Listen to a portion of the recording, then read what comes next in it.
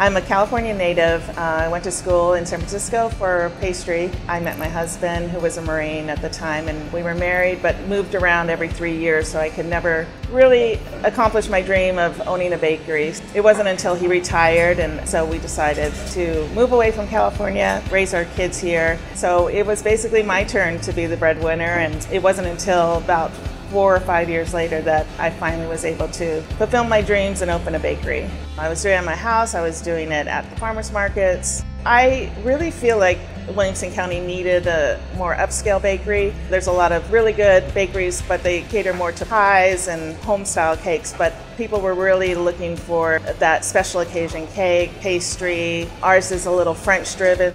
We rely solely on doing events in the community. We, we do little to no advertising. That solidifies that we're doing something good. If people are coming in after they've tried our product or a friend has told them about it.